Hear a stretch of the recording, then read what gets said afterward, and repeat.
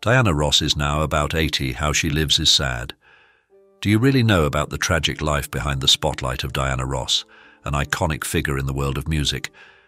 It's definitely not as rosy as you think. Now at 80, the life she leads bears the scars of a relentless pursuit of success, a journey marked by its towering peaks and devastating lows. Despite her monumental contributions to the music industry, her story takes a somber turn, culminating in a tragic conclusion that few could have predicted. In this video, you will witness firsthand the difficulties that Diana Ross had to overcome. Some stories will shock you. Let's get started. Diana Ross stands as a towering figure in the world of music, yet her journey has been punctuated by a series of controversies and challenges. The Motown legend's life has been marked by turbulent relationships and legal issues, underscoring the complexities and scandals that have accompanied her illustrious career. Born on March 26, 1944 in Detroit, Michigan, Diana Ross emerged as a legendary American singer and actress. The second of six children, she was born to Ernestine and Fred Ross Sr. Although her mother had intended for her to be named Diane, a clerical error on the birth certificate resulted in her official name being recorded as Diana. Despite this, she was always known as Diana to her family and friends in Detroit. In a Baptist household, Diana Ross was raised alongside her siblings, two sisters, Barbara and Rita, and three brothers, Arthur, Fred Jr., and Wilbert, affectionately known as Chico. The family resided close to the famous Smokey Robinson, who was notably their neighbour. At the age of 14, a fortunate turn in Diana Ross's life occurred when Smokey Robinson generously provided the funds she needed for classes, a fact she disclosed later on. Additionally, Diana was actively involved in her school's extracurricular activities, notably joining the swim team, showcasing her diverse talents and interests beyond music. In a notable incident on December 30th, 2002, Diana Ross encountered legal issues when she was arrested in Tucson, Arizona for driving under the influence. The arrest followed an incident where she was stopped for erratic driving and not halting at a red light. After failing a breathalyzer test, Ross was taken into custody. She subsequently entered a no-contest plea to the DUI charges, resulting in a sentence of two days in jail and one year on probation. As part of her sentence, Ross was required to complete substance abuse treatment and pay a monetary fine. Let's start exploring Diana's journey to shine like a superstar, because YouTube will prioritize interactive videos. Please comment OK if you find this video interesting. Thank you. Diana's professional journey commenced in 1960 with her role as a busgirl at Hudson's, a well-known department store in downtown Detroit.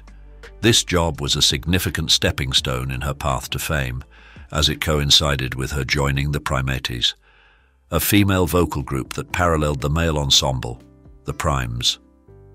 Paul Williams, a Primes member, recognized Diana's potential and introduced her to music manager Milton Jenkins, setting the stage for her musical career. The Primettes featuring Diana, Florence Ballard, Mary Wilson and Betty McGlone, who was in a relationship with Paul Williams at the time, highlighted their collective talent by winning a talent competition in Windsor, Ontario in 1960. During their audition for Motown, the Primettes performed in front of several executives, where Berry Gordy was particularly struck by Diana Ross's rendition of There Goes My Baby. His captivation with her voice opened up an opportunity for her, leading to roles beyond singing. Diana became involved in various aspects of the music industry, serving as a backup singer, stylist, makeup artist, seamstress and costume designer, all stemming from this pivotal moment. In 1964, their career took a significant turn with the release of Where Did Our Love Go, marking their first number one hit. This success laid the foundation for an extraordinary streak of achievements that followed. 1965 was a year of significant change for her.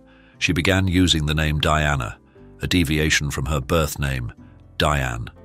Diana Ross's preferential treatment by Motown Records is often attributed to her romantic involvement with Berry Gordy, the label's founder.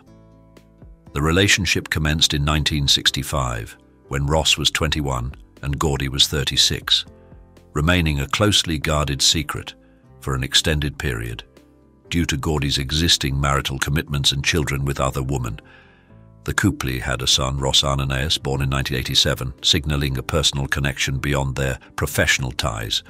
Although their romantic relationship concluded in 1970, Ross and Gordy continued to maintain a friendship and professional collaboration.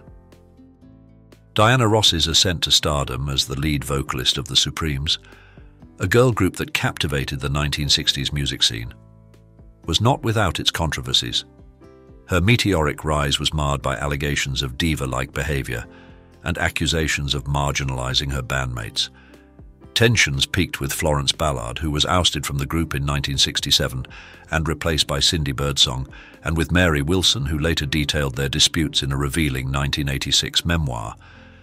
Ross eventually left the Supremes in 1970 to pursue a solo career, but the bad blood between them lingered for decades. Diana Ross's solo career launched in May 1970 with her self-titled debut album, signaling the start of a prolific solo venture. The following year, in 1971, she clinched her first number one single in the UK with I'm Still Waiting, a testament to her burgeoning solo success. That same year, she made her debut in a solo television special, Diana, which notably included appearances by the Jackson Five, further cementing her status as a solo artist. Diana Ross ventured into the acting realm, delivering remarkable performances in movies, notably Lady Sings the Blues. Her role in the film garnered critical acclaim and led to a nomination for Best Actress at the Academy Awards.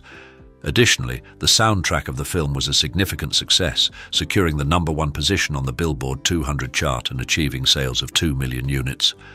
Diana Ross achieved her second number one hit in the US with the ballad Touch Me in the Morning in 1973.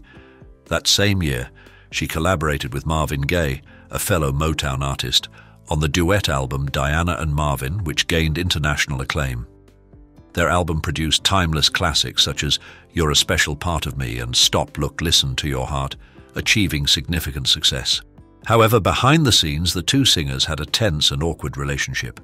Reports suggest that Gaye's attraction towards Ross was not reciprocated, leading to tension. Additionally, Gaye harbored feelings of resentment towards Ross due to her greater success and influence in the music industry. In the recording studio, they opted to lay down their vocals separately rather than together, and despite the success of their duets, they never performed live as a pair. The relationship dynamics took a complicated turn for Diana Ross in 1976, when she wed Robert Ellis Silberstein, a music executive who had been managing her career since 1971. The couple had two daughters, Tracee Ellis Ross and Chudney Ross. Despite the union, happiness eluded them, primarily due to Ross's involvement in extramarital affairs. In 1977, she was romantically linked to actor Ryan O'Neal and subsequently fell for Bob Ellis, her co-star in the film Mahogany. At the time, Ellis was married to famed actress Joan Collins, and the affair between Ross and Ellis grabbed scandalous headlines in Hollywood. The turmoil led to Ross's divorce from Silberstein in 1977, after which she and Ellis began living together, further fueling the public and media intrigue. Diana Ross's personal life, particularly her relationship with Gene Simmons, the bassist and co-lead singer of the band Kiss, garnered public attention. Their relationship lasted until 1983 and began following a suggestion from Cher, who was a friend of Simmons from a previous relationship. Interestingly, Simmons later admitted that he fell in love with Ross while he was still dating Cher, leading to the end of the friendship between Ross and Cher. Diana Ross's life took a significant turn in 1985 when she encountered Arne Naess Jr., a prominent Norwegian shipping magnate the couple entered into marriage a year later in 1986. Through this union, Ross embraced the role of stepmother to Naess's seven children, expanding her family. After more than 20 years with Motown, Diana Ross initiated negotiations in 1980 to part ways with the label that had been instrumental in her rise to fame. Motown bid farewell to Ross with a severance package amounting to $250,000. In a significant career move, RCA Records presented Ross with an enticing proposal. A seven-year recording contract worth $20 million along with the promise of full production control over her albums. Demonstrating her allegiance and gratitude towards Motown, Ross sought to give Berry Gordy, the founder of Motown, an opportunity to counter the offer, reflecting her loyalty to the label while also signaling her eagerness to embrace new creative avenues. Diana Ross expanded her professional horizons by founding Anaid Productions, cleverly named by spelling Diana backward, and delving into the world of real estate investment. Her passion for music remained undiminished, as she persistently toured across the United States and internationally. These tours not only highlighted her sustained prowess and charisma as a performer, but also reinforced her status as an enduring icon in the music industry. Diana Ross's illustrious career was further immortalized on May 6, 1982, when she received a star on the Hollywood Walk of Fame, affirming her legacy as a legendary artist. Building on the momentum of Why Do Fools Fall in Love, she released Silk Electric, an album that included the hit single Muscles penned and produced by Michael Jackson. The success of Muscles, which not only secured a spot in the top 10, but also garnered gold record sales, underscored Ross's ongoing impact and achievement in the music industry. Diana Ross showcased her philanthropic spirit in 1985 by participating in the charity single We Are the World by USA for Africa, a project that witnessed remarkable global success with over 20 million copies sold. This endeavor not only emphasized her dedication to charitable causes, but also her unique talent for reaching people's hearts through music. Diana Ross took center stage in 1986 as the host of the 13th annual American Music Awards, where her natural charisma and hosting prowess were on full display. Beyond her entertainment career, Ross's active participation in charitable activities further demonstrated her deep compassion and unwavering commitment to contributing positively to the world.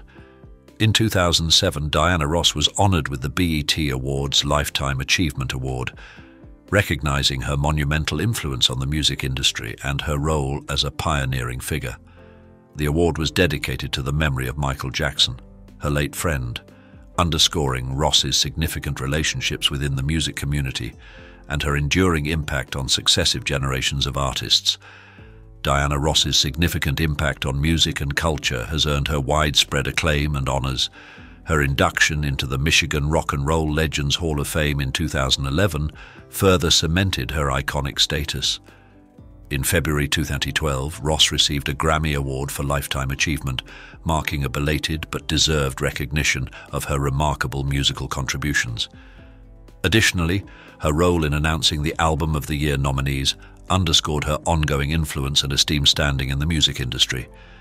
Diana Ross's career is marked by collaborations with an impressive roster of artists such as Dusty Springfield, Aretha Franklin, Martha Reeves, and Dionne Warwick, demonstrating her adaptability and the high regard in which she is held by her contemporaries. In 2023, her remarkable contributions were further acknowledged when Rolling Stone ranked her as the 87th greatest singer of all time, a testament to her lasting influence on the music industry. Both fans and fellow musicians continue to celebrate and honor Ross's legacy, reflecting the deep and enduring impact she has made on the world of music. Diana Ross's life and career over the past 80 years encapsulate a remarkable journey of resilience, talent, and transformation. From her beginnings in Detroit to becoming a global music icon and a figure of significant cultural impact, her story is one of immense dedication and groundbreaking achievements. Her ability to navigate the complexities of fame, personal challenges, and evolving music landscapes speaks to her enduring strength and versatility as an artist. Ross's influence extends beyond her musical hits. Her pioneering role as a black woman in the entertainment industry has paved the way for future generations, breaking down barriers and setting new standards. Despite facing controversies and personal trials, her legacy as a member of the Supremes and as a solo artist remains untarnished, celebrated for her contributions to music, fashion and culture. Her collaborations with other legendary artists, her recognition in esteemed lists and awards and her ability to remain relevant in the music industry for decades highlight a career built on talent, adaptability, and a profound connection with audiences around the world. Diana Ross's life story is not just about her as an entertainer, but also her as a symbol of perseverance and grace in the face of adversity. Overall, Diana Ross's 80-year journey in building her career is a testament to her indomitable spirit, her unparalleled talent, and her significant impact on music and society. It's a narrative that inspires admiration and respect, making her one of the most enduring figures in the world of entertainment. What do you think about Diana Ross's life during her 80 years of building her career? Join the conversation by dropping a comment below. Press 1 if you felt a connection with this story, or dour if it didn't resonate with you. Your insights and feedback are invaluable as we explore stories that delve into the essence of human experience.